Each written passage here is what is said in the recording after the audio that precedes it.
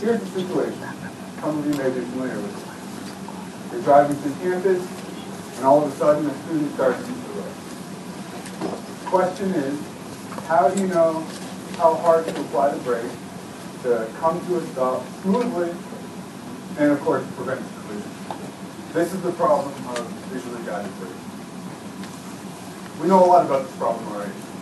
We know there's an optical variable called tau, specifies time to contact with the obstacle. And for ongoing control, if we take the rate of change, tau dot, set it equal to minus one half, you will ensure a constant deceleration, come to a stop just as you approach the obstacle, thereby avoiding a collision. We can say then the tau dot strategy of visually guided braking is to move in order to produce the perceptual invariant tau dot equals minus 0.5. But what if we're approaching an obstacle in this case a, a toll? The tau dot strategy still predicts constant smooth deceleration.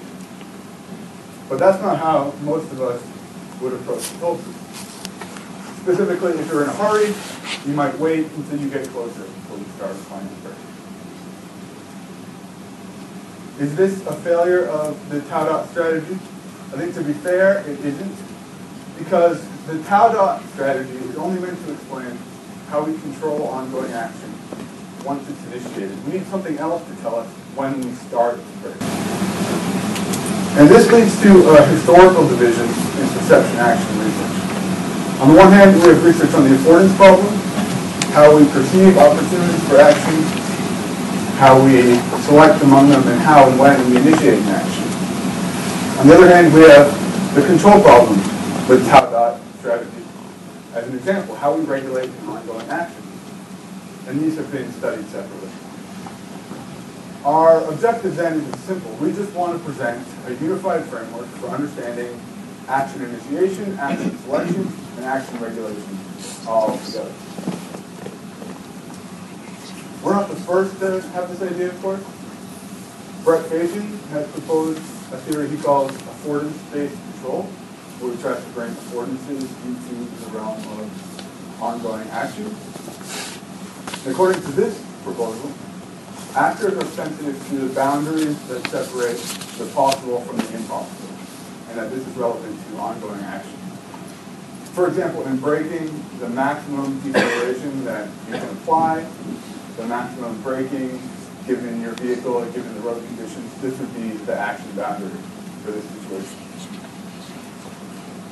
According to Fajen, this is the rule that we should follow. Move in order to prevent the action that is required from crossing this action boundary. It might make more sense in the specific case, prevent the ideal deceleration or the amount of braking that is required from moving beyond the maximum amount of braking that you can produce. It's actually quite simple. All it really means, keep the affordance afforded. Don't let it out of your reach. Don't drive so fast that you won't be able to stop. So to summarize these two approaches, in the traditional approach, we can call it information-based control. The braking rule is move in order to generate tau dot equals minus 0.5. For affordance-based control, prevent required braking from moving beyond maximum possible braking. What's really important though is that these two approaches allow for different predictions. Information-based control makes a specific prediction in each case. This has made it easy to put dynamical models to it. Affordance-based control, on the other hand, doesn't make a specific prediction. It predicts a range of potential outcomes. This makes it difficult to model because we don't know exactly what it's predicting. But there's an advantage. This allows for flexibility, an important part of agency. So remember the toll booth. One morning you're late for work. You might approach the toll booth in a more aggressive manner than you usually do. This is a case where you perceive the same affordance. There's the same final outcome, but a different trajectory to get there. And this is what affordance-based control might let us get at. So our question is, how can we take the success of dynamical models in information-based control, and specifically for braking, and apply that to affordance-based control? What I want to consider is that these two theories are not as different as you might think. Specifically, what is the required action for affordance-based control? It's whatever action generates the perceptual invariant. So for braking, the required braking is whatever braking produces tau dot equals minus one half. So these two approaches really have the same core. What we tried to do then is to understand affordance-based control by taking a foundation of information-based control and adding some element that provides flexibility, the flexibility that was referred before. And this flexibility should be modulated by the action boundary. With the toll booth in the distance, you have some different options. In the emergency braking situation with a pedestrian, the action boundary is right there, and you have no choice but to brake right away. So to show you how this works, let's look at a control law for the tau dot strategy. Here on the left, a control law tells you how you should adjust your behavior. In this case, how you should adjust the deceleration or how you should adjust your braking as a function of whatever information is available. And this just simply describes an attractor, a place where your behavior will tend to end up if you follow this rule. In this case, the attractor location is determined by the optical information, and it's at whatever point produces tau dot equals minus one half. The other element of this equation is this parameter k, which indexes here the attractor strength. How strong is the pull to reach this attractor? And usually this is just set to a constant and decided in What we tried to do is to take advantage of this K parameter and open it up, use it for flexibility. Let the attractor strength adjust to the situation. And usually when we simulate these types of models, there's only one attractor in a lot of cases. So it doesn't really matter the attractor strength. The same thing will happen in the end.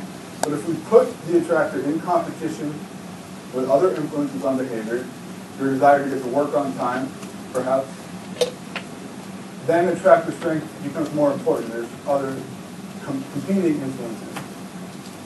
And here's the specific proposal. Attractor strength should be inversely proportional to how close you are to the action boundary. And again, this is simpler than it sounds. When you're far from the action boundary, the toll is still in the distance, the attractor is weak, you have some feeling that you might have to brake, but it's not an urgent feeling. As you get closer and closer, the attractor gets stronger and stronger and stronger. And if you have some other influence on behavior, the desire to get work on time, eventually the attractor for braking will overpower that other influence. So it doesn't matter how strong the attractor for driving fast is, the braking attractor will eventually become stronger. But the real important question for this to work is that is there information for the driver to know how close he or she is to boundary? It can't work without information. In order for me to argue that there is information, I'm going to show you how we put that into the control law. So here's the basic equation. What we did is we multiplied the attractor strength by this bit in parentheses. And the important part is this fraction here of the required deceleration or the required braking divided by the maximum possible braking. And so as required braking goes to maximum braking, this fraction goes to 1, the bit in parentheses goes to 0, and so this is an index of how close you are to the action boundary. What I need to show then is that there is information for this fraction. And luckily for us, once more, Brett Fajen has done some of the work for us. He's shown that required deceleration is specified by the global optic flow rate divided by tau. And I can't show the derivation here, but you can check it. And this is a quantity that requires units, so it needs to be calibrated. But why not calibrate it by the maximum deceleration? And th this notion of calibration is really important for uh, the theory of affordance-based control. It's not something that we originally set out to touch upon, but when we put the model in this form, it turned out, without meaning to, we implemented Bayes' proposal for calibration, where he writes, when a driver is properly calibrated, he perceives the ideal deceleration in units of the maximum deceleration. And if this is the case, and if it affects the attractor strength like this, you can get the flexibility that will open up control laws to allow for um, different trajectories to the same outcome. Let me show you how it works. In this case, we're using one additional competing attractor for a preferred speed. So in this case, all the simulated drivers prefer to drive at 10 meters per second. And I'll show three simulations. All I'm changing is how strong they prefer 10 meters per second. They all prefer the same speed, but I'll ramp up how strong they prefer. So if we start with a, a driver who has a very weak preference for this speed, this is a cautious driver, and it turns out that the model basically reduces to the original tau dot strategy when the other influences are weak and we get this constant deceleration. If we make the preference stronger, we get this sort of coasting and then applying the brake. And we can take it to the extreme, and here we get the driver who's late for work, drives at full speed into the last possible moment, slams on the brakes. So what we see here is that we can combine the initiation of action with the ongoing control of action in a smooth way. Yeah, break on the last part. And so just to sum up, if we modulate attractor strength, we can provide flexibility. And if we do it in this way, it should work for any control law that has this simple form, Tau dot control law. And it's consistent with information-based control as well as affordance-based control. We're not choosing one over the other. But there's still work to be done. We have to validate this experimentally, of course. And this requires coming up with a better understanding of what these competing constraints are. So preferred speed was just a simple standard to demonstrate the principle, but hopefully we can come up with something more realistic through experimentation. And if we string enough of these other influences on behavior together, maybe we can get a full-fledged model that can encompass many different behaviors. And if some of these other attractors have this same attractor strength modulation, and they also represent some affordance, perhaps we can start to understand action selection as well. So that's something for next time. So thanks to uh, Michael Turvey and Till Frank for helping me through this, and thank you all for listening.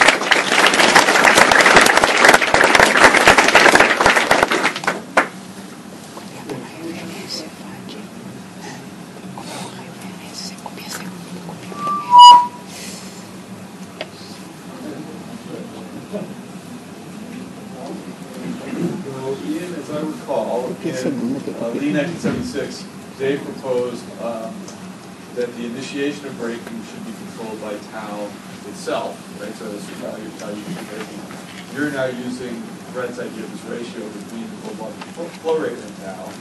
What does that, so could you accomplish something similar by just using Dave's original formula of of relying on tau? Because that'll scale, it'll scale to the, the preferred speed, but won't scale to the maximum deceleration. Right? Uh, I- What I prefer, uh, this is what I- What I prefer about, I think that would work, yes. What I prefer about this approach is that you can add any other term you want to the equation, and the uh, attractive braking will always win in the end. It's almost guaranteed, except for some breaks. So uh, if we try to add some other factors onto the original um, dis- discrete power approach, the uh, the driver will collide every time because it's you know very it needs to be exactly right because wanting further will collide. So here is we can have as many other influences on behavior as we might think are realistic.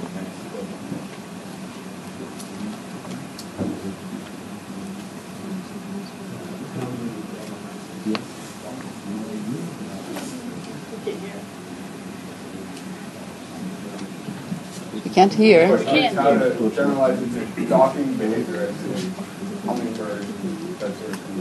Uh, I think it's, I, I would like to generalize it to other situations, but I think docking in particular is maybe one of the easier ones because it's still controlled by tau and tau dot as I, as I remember.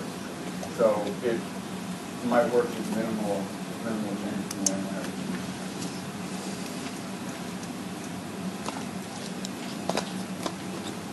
So imagine.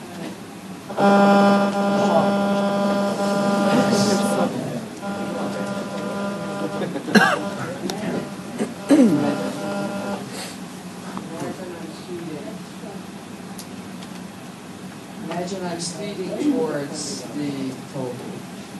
Okay, so I have a, a- there's a certain uh, maximum deceleration that I can achieve. And then sometime over the next eight seconds, it starts to rain. And so my maximum possible deceleration changes. What is it in the nature of your model, or how, how would your model change so as to accommodate to the change in braking distance? And what would be the information hmm. that would recalibrate or, or, or, or change the parameter values of, of, of the model? Yeah, so in terms of the equation, I think, uh, as you can imagine, that, that's the maximum deceleration. So in order for you to, to readjust, that's the recalibration process. And I would like to eventually uh, understand how phase-in phase calibration should work by putting it also in a, in a dynamical equation and let it adjust over time. Um, but I don't, I don't have that yet. But the way the way it would work for him is as the conditions change and you you uh, the consequences of your action are changing, so you have to adjust the units that you're using the quantity. And whether or not you know experience with having a brain in the past looks to get faster, I'm not sure, but that's what.